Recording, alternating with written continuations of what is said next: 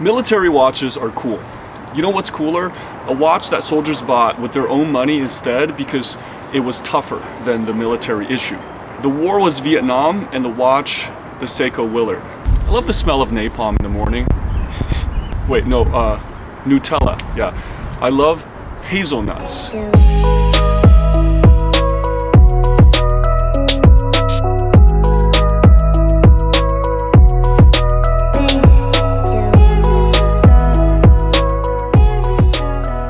Hey guys, I'm Max and this is WatchCrunch.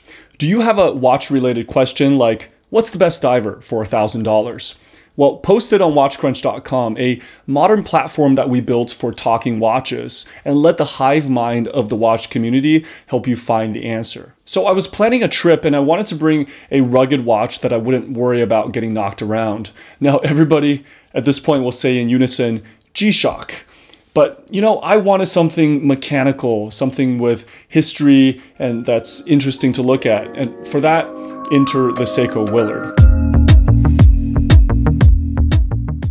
So the SBP237 lives in a family of Seiko Willard reissues. The name is of course inspired by Martin Sheen's character from Apocalypse Now. These include the Green Willard, which was a close second for me, and a number of limited editions like a blue dial, a black PVD, amongst others. But let's cover why I think the Willard is the sweet spot in Seiko's diver lineup, why I like the 237 the most, but also a few little niggles about this watch that bothered me and how I went about improving them. So first, this is a unique watch. The cushion-shaped case with its asymmetrical crown guard at 4 looks nothing like anything out of Switzerland.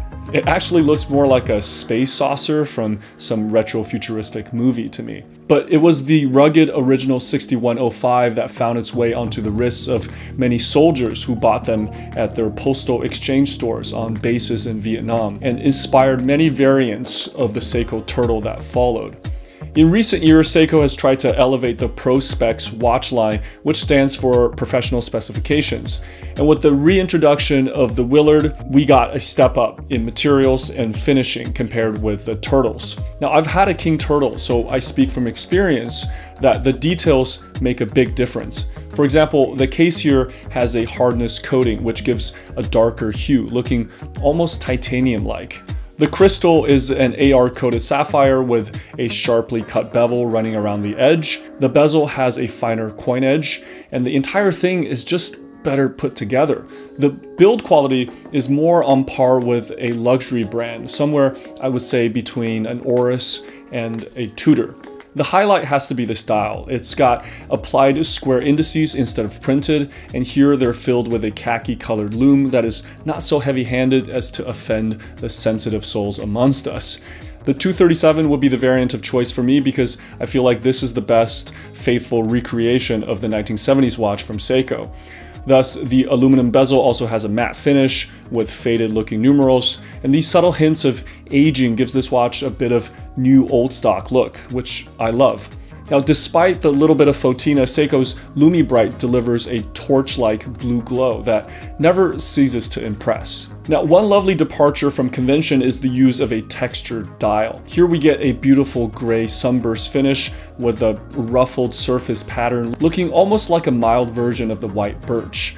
The subtle depth this affords the dial really classes up this otherwise rugged watch. We also get loom-filled stick hands, which seem simple, but they're actually beveled down the center with one side that is brushed and the other polished. The second hand has what enthusiasts call a stoplight tip, and the pop of red is just enough to set things off on the style. Guys, please take a sec, drop a like for this video. Also, uh, announcement for today. The winner of our Longines Legend Diver giveaway from a couple videos ago was, drum roll please, 10 and 2 watches.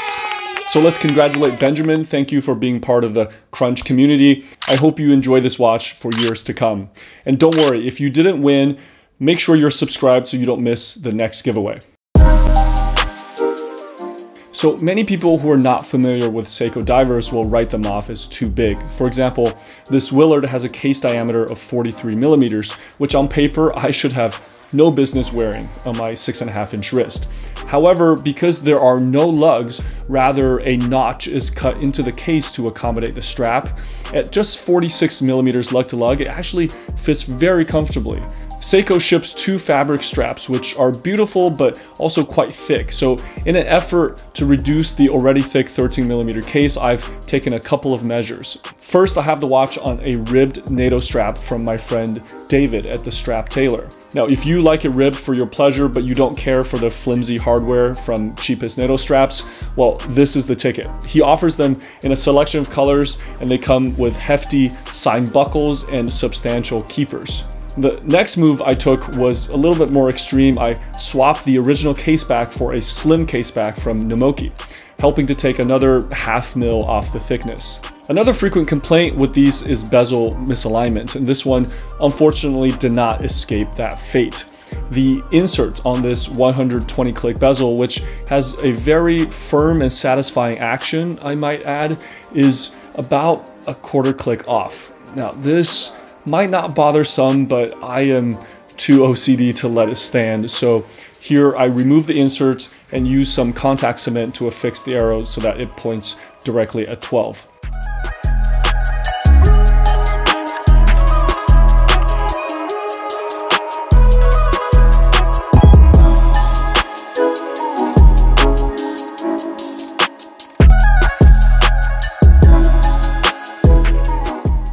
Okay, now I'm gonna go wash my hands for 10 minutes and then flip the light switch on exactly 12 times. I'll be right back. okay, the last thing that we have to talk about is the movement. I might sound a little hypocritical here because I spent the last video trashing the 6R31 slash 35 for its poor accuracy, low beat rate in the new King Seiko. But hear me out. The King Seiko name is synonymous with accuracy and precision.